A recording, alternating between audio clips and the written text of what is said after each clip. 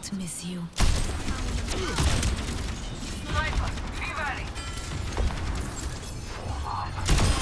I was always graceful in the air.